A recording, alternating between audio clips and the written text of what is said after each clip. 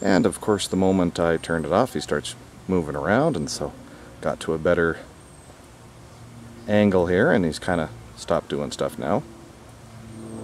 Looks like he's foraging right now. Zoom in on him just a bit. See if we get anything. Nope. Nothing. Alright, there we go.